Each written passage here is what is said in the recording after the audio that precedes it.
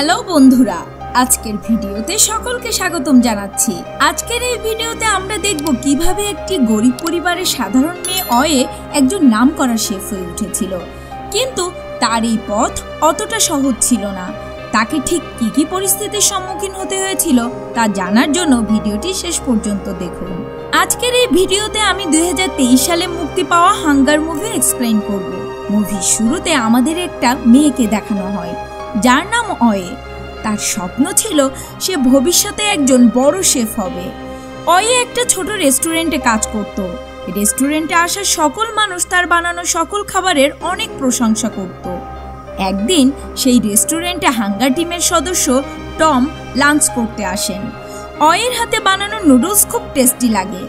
তাই সে অয়ের কাছে গিয়ে তার বানানো খাবারের অনেক প্রশংসা করে। এরপর টম তাকে একটা কার্ড দেয়। অয়ে সেই কার্ড নিজের কাছে রেখে দেয় এবং টম অয়েকে বলে, যদি তোমার এই কাজে ইন্টারেস্ট থাকে, তাহলে তুমি এখানে চলে আসবে। অয়ে সেই কার্ডের ব্যাপারে তার বন্ধুদের জানায়। তখন তার বন্ধুরা তাকে বলে, এটা হাঙ্গারের কার্ড। এটা খুব ফেমাস শেফদের একটা টিম। এরা বিশেষত ধনী অতিথিদের জন্য খুব ভালো ভালো খাবার তৈরি করে। এসব শোনার পর অয়ে তার বন্ধুর ল্যাপটপে হাঙ্গার টিভির ব্যাপারে সার্চ করে। সেখানে সে হাঙ্গার টিভির মেন শেফ পলকে দেখতে পায়। সে দেখতে পায় কত প্রফেশনালভাবে সে একটি কাজ করছে। আমরা দেখি অয়ের পরিবারে তার একটি ছোট বোন আর তার বাবা ছিল। আসলে অয়ের পরিবার খুব গরিব ছিল। সংসার খরচ চালানোর জন্য তারা একটি লোকাল রেস্টুরেন্ট চালাতো। একদিন ওই রেস্টুরেন্টে খাবার বানাচ্ছিল। তখনই হাঙ্গার টিমের সদস্য টম আবারও সেখানে আসে। অয়ে অনেক গভীর চিন্তা ভাবনা করার পর টমের সাথে চলে যায়। এখানে সব কিছু তার জন্য নতুন ছিল। এখানে খুবই প্রফেশনালভাবে সব কাজ করা হতো। তারা সেখানে পৌঁছানোর পর হাঙ্গারের মেন শেফ পল আসে তাকে পরীক্ষা নেওয়ার জন্য। পল অয়েকে ফ্রাইড রাইস বানাতে বলে। ওয়ে খুব মনোযোগ সহকারে কাজ করতে থাকে। এখানে অয়ে ও হাঙ্গার টিমের একজন সদস্যের মধ্যে কম্পিটিশন চলতে থাকে। কিছুক্ষণ পর দুজনেই তাদের খাবার শেফের সামনে পরিবেশন করে। শেফ পল তাদের সদস্যদের মধ্যে একজনের খাবার টেস্ট করে তাকে টিম থেকে বের করে দেয় এবং তার জায়গায় অয়েকে নিজের টিমে রাখে। কিন্তু শেফ অয়ের সাথে খুব বাজে ব্যবহার করতে থাকে আর সাথে সাথে অয়ের দরিদ্রতা নিয়েও হাসি ঠাট্টা করে। অয়ের এসব একেবারেই ভালো লাগে না। পরবর্তীতে দেখানো হয় অয়েকে হাঙ্গার টিমের বিশেষ পোশাক দেওয়া হয়। সেটা পেয়ে অয়ে খুবই খুশি হয়ে যায়। এরই মাঝে টম অয়েকে টিমের বাকি সদস্যদের সাথেও পরিচয় করিয়ে দেয়। ঠিক তখনই সেখানে পল চলে আসে। সবাইকে জানায়, কালকে একটি প্রাইভেট বার্থডে পার্টি আছে। সেখানে আসা সকল অতিথির বয়স প্রায় চল্লিশের কাছাকাছি এবং সেখানে আসা সকল অতিথিদের জন্য আমাদের খাবার বানাতে হবে। এরপর পল সেখানকার মেনুর ব্যাপারে সবাইকে জানায়। তারপর সে খুব নিখুঁতভাবে বিফের মাংস কাটে এবং অয়েকে পরীক্ষার জন্য ঠিক একইভাবে মাংস কাটতে বলে। কিন্তু অয়ে অনেকবার চেষ্টা করার পরেও তার মতো মাংস কাটতে পারে না। এতে শেফ পল তার উপর চিৎকার চেঁচামেচি শুরু করে দেয় এবং একটি রাত সময় দেয় আর বলে, এরই মধ্যে তাকে মাংস কাটতে হবে। তা না হলে তাকে টিম থেকে বের করে দেওয়া হবে। এরপর এক এক করে সবাই নিজের ঘরে চলে যায়। অপরদিকে অয়ে সেখানে সারা রাত প্র্যাকটিস করে। অনেকবার তার হাতও জ্বলে যায়। সারা রাত প্র্যাকটিস করার কারণে অয় রান্নাঘরেই ঘুমিয়ে যায়। দ্বিতীয় দিন টিমের সদস্যরা রান্নাঘরে পৌঁছে তাকে ঘুম থেকে ডেকে দেয়। এর মধ্যে সে পলও সেখানে পৌঁছে যায়। অয়ে শেফকে বিফের মাংস রান্না করে খাওয়ায় মাংস খেয়ে শেফের ভালো লাগে এবং তার চাকরিটা পার্মানেন্ট হয়ে যায়। অপরদিকে দেখানো হয়, সে বার্থডে পার্টির খাবার বানানোর জন্য টিমের সদস্যরা সেখানে পৌঁছে গেছে। সমস্ত অতিথিরা খাবার খাওয়ার জন্য একত্রিত হয়ে গেছে। এরপর শেফ সবার সামনে বিফের মাংস রেখে অয়েকে ডেকে পাঠায়। অয়ে নিখুঁতভাবে তা রান্না করে। এরপর শেফ সেটাকে খুব ভালোভাবে প্লেটে পরিবেশন করে আর সবাইকে খেতে দেয়। খাওয়া দাওয়ার পর সেখানকার সকল অতিথিরা খুব প্রশংসা করে। সেখানে আসা এক ধনী ব্যবসায়ীর অয়ের বানানো খাবার খুবই ভালো লাগে। তাই তিনি অয়েকে নিজে ফোন নাম্বার দিয়ে বলে, তোমার যদি কখনো কোনো জিনিসের প্রয়োজন হয়, তাহলে আমাকে কল করো। এরপর কিছুদিন সব ঠিকঠাক চলতে থাকে। এখন অয়ে আর টমের মধ্যে সম্পর্ক খুবই ভালো হয়ে যায়। অয়ে কাজ করার সময় টম অনেকটাই তাকে সাপোর্ট করে। এভাবে ধীরে ধীরে তারা দুজন একে অপরকে ভালোবাসতে শুরু করে। একদিন অয়ে তার প্রেমিক টমকে নিজের ঘরে নিয়ে যায় আর তাকে তার পরিবারের সকল সদস্যদের সাথে আলাপ করায়।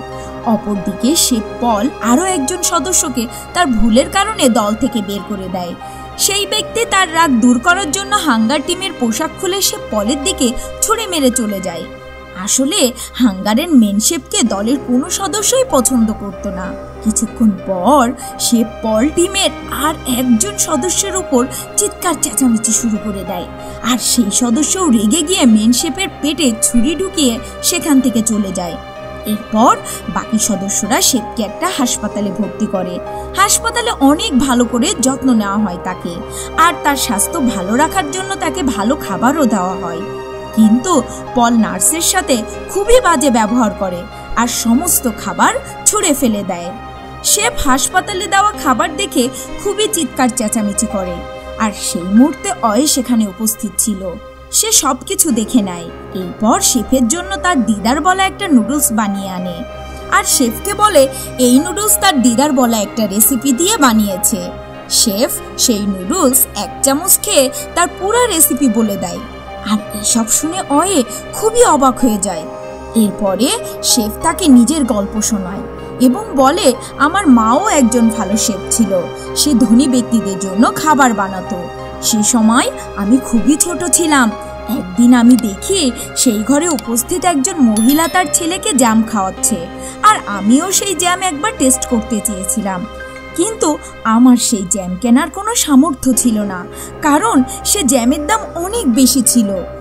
এরপর একদিন আমি সেই জ্যাম টেস্ট করার জন্য ফ্রিজ থেকে বের করি। কিন্তু সেই পরিবারের ছেলে আমাকে এটা করতে দেখে ফেলে। আর সে তখন চিৎকার করতে শুরু করে। ভয় পেয়ে সেই জ্যাম আমার হাত থেকে পড়ে যায়। আর সেটা দেখে সেই বাড়ির মালকিন আমার মায়ের উপর খুবই চিৎকার করে। শেখ বলে, সেই জ্যামের টাকা পরিশোধ করার জন্য আমার মাকে অনেক কঠিন পরীক্ষার সম্মুখীন হতে হয়েছিল।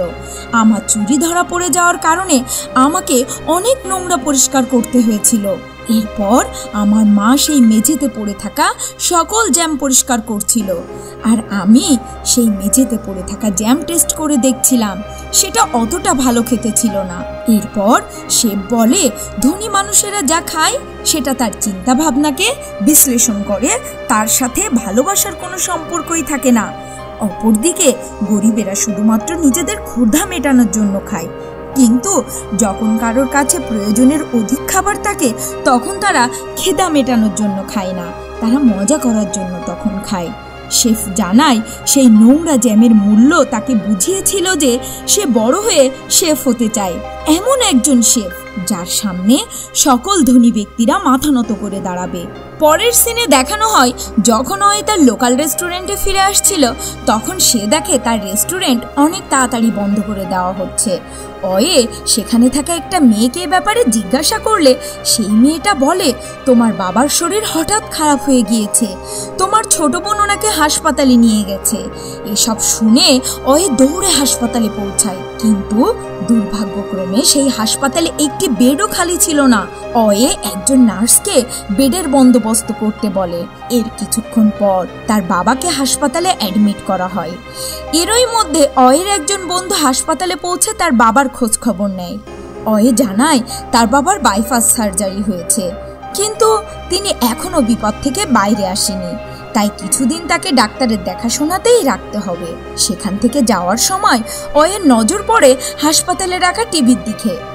যেখানে দেখানো হচ্ছিল তিনজন মানুষের মৃতদেহ উদ্ধার করা হয়েছে এবং এটা মার্ডার সুইসাইড কেস, যেখানে একজন ব্যবসায়ী তার স্ত্রী ও চার বছরের বাচ্চাকে গুলি করে মেরে ফেলার পর নিজেকেও গুলি করে মেরে ফেলেছে।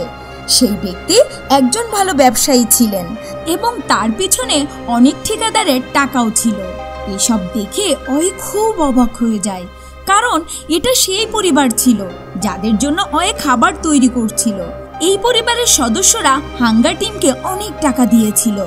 ভয় পেয়ে অয়ে এই কথা হাঙ্গার টিম ও তার বন্ধুদের বলে। এই কথা শুনে তারা বলে, যাই হোক, আমরা তাদের শেষ ভোজনে ভালো কিছু বানিয়ে খাইয়েছিলাম। পরের দিন শেফ তার পুরো টিম নিয়ে একটা জঙ্গলে যায়, যেখানে তাদের একটা শকুন পাখি মেরে রান্না করতে বলা হয়। কিন্তু অয়ে এটার বিরোধিতা করে। তার কথা শুনে শেফ বলে, তুমি শুধু খাবার বানানোর দিকে মন দাও। কারণ তুমি একজন শেফ, আর তোমার কাজ হলো শুধুমাত্র এই খাবার বানানো। এই কথা শোনার পর অয়ে হাঙ্গার টিম ছেড়ে দেওয়ার সিদ্ধান্ত নেয় এবং সেখান থেকে চলে যায়। অনেকক্ষণ চিন্তা করার পর ওই সেই ব্যক্তিকে ফোন করে, যে একটা বার্থডে পার্টিতে তাকে নিজের কার্ড দিয়েছিল। সেই ব্যক্তি অয়ের সাথে দেখা করে তাকে বলে, তুমি পৃথিবীর একজন খুব বড় মাস্টার শেফ হতে পারো। এরপর অয়ে সেই ব্যক্তির সহযোগিতায় নিজের একটা রেস্টুরেন্ট খোলে। অপরদিকে তার বাবা হাসপাতালে ভর্তি ছিল, যার খরচ মেটানোর জন্য তার কোনো না কোনো কাজ করার প্রয়োজন ছিল। অনেক পরিশ্রম করে অয়ে নিজের রেস্টুরেন্ট তৈরি করে আর নাম দেয় ফ্লামেন এখানে অয়ের আন্ডারে অনেক লোক কাজ করতে শুরু করে। সে নিজের ট্যালেন্ট দিয়ে খুব সুস্বাদু খাবার বানাতে থাকে। অপরদিকে সেই খাবার খুব পছন্দ করে ধীরে ধীরে সবাই তার নাম জেনে যায়। অনেক দূর দূর থেকে লোক তার রেস্টুরেন্টে খাবার খেতে আসে। অপরদিকে হাঙ্গার টিমের সমস্ত সদস্যরা টিম ছেড়ে চলে যেতে শুরু করে। এরপর একদিন সে পল অয়ের রেস্টুরেন্টে খাবার খেতে আসে এবং তাকে বলে স্পেশাল হওয়ার জন্য তোমার অনেক কিছু হারাতে হবে। পরের দিন আমরা দেখি হাঙ্গার টিম আর অয়ের টিম একটা বার্থডে পার্টিতে যায়। এখানে তাদের সবাইকে অতিথিদের জন্য খাবার বানাতে বলা হয়। এরপর অয়ে আর পলের টিম নিজেই নিজের কাজ করতে লেগে যায়। অবশেষে অয়ে অতিথিদের সামনে নিজের তৈরি খাবার পরিবেশন করে, যেটা অতিথিরা খুব বেশি পছন্দ করে। হঠাৎ করে লাইট বন্ধ হয়ে যায় আর ঠিক তখনই পল খুব বড় মাংস নিয়ে আসে আর যেটাকে সে মশলা দিয়ে মিশিয়ে রান্না করতে শুরু করে। সেখানে উপস্থিত সকল অতিথিরা পাগলের মতো সেই মাংসটি খেতে শুরু করে দেয়। পলের এই আইটেমকে হারানোর জন্য অয়ে নিজের দিদার বলা নুডলস বানানো শুরু করে আর নিজের পরিবারের কথা মনে করে। তারপর অয়ে যখন সেই নুডলস সামনে পরিবেশন করে, তখন সবার সেটা খুবই ভালো লাগে। আর এটা দেখার পর পল তখন সবার জন্য স্যুপ তৈরি করে। আর সেই স্যুপ অতিথিদের কাছে খুবই ভালো লাগে। হঠাৎ সেখানে পুলিশ চলে আসে। এরপর একটা ফোন মেসেজের মাধ্যমে জানা যায়, হাঙ্গারের শেফ একটি শকুন মেরে ফেলেছে এবং সেটা আইন বিরোধী কাজ করেছে তিনি। অপরদিকে সেই ক্লিপ ভাইরাল করার জন্য শেফ পল অয়কে অভিযুক্ত করে। কিন্তু পুলিশ পলের কোনো কথা না শুনে তাকে গ্রেপ্তার করে নিয়ে চলে যায়। এসব কিছু ঘটে যাওয়ার পর অয়ে ভাবে, তার ট্যালেন্ট এই সমস্ত মানুষদের জন্য নয়। তার ট্যালেন্ট এমন মানুষদের জন্য যারা সেটার মূল্য দেয়। এমন ধনী ব্যক্তিদের জন্য খাবার বানাতে চায় না সে, যারা একে অপরকে হারানোর জন্য সমস্ত কিছু করতে পারে। এরপর অতীতের সমস্ত কিছু ভুলে গিয়ে অয়ে নিজের রেস্টুরেন্টে ফিরে যায় আর সেখানেই পরিশ্রম করে নিজেকে সাকসেসফুল করার জার্নিতে বেরিয়ে পড়ে। এই সিনেমার বেশিরভাগ সিন ছিল খুবই অবাক করার মতো। এখানে দেখানো অয়ের জীবন খুব কমপ্লিকেটেড ছিল। যার মধ্যে অনেক ট্যালেন্ট থাকা সত্ত্বেও তাকে ব্যর্থতার সম্মুখীন হতে হয়েছিল। তার সামনে ইচ্ছা করে এমন পরিস্থিতির সৃষ্টি করা হয়েছিল যাতে সে তার কাজ কন্টিনিউ না করতে পারে। আর পরবর্তীকালে সে নিজের আসল ট্যালেন্ট খুঁজে পায় আর তারপর নিজেকে খুবই ভালো মাস্টার শেফ বানায়। এই সিনেমা থেকে আমরা জানতে পারি নিজেদের অভ্যন্তরীণ ট্যালেন্টকে কখনো ছোট মনে করা উচিত নয়, বরং পরিশ্রম করে জীবনের পথে আরও এগিয়ে যাওয়া উচিত। তো বন্ধুরা, আমাদের আজকের সিনেমার গল্পটি কেমন লাগল কমেন্ট করে অবশ্যই জানিয়ে দিও। আর পরবর্তী ভিডিও দেখার জন্য সকলকে আমন্ত্রণ জানাচ্ছি। আজ এ পর্যন্তই।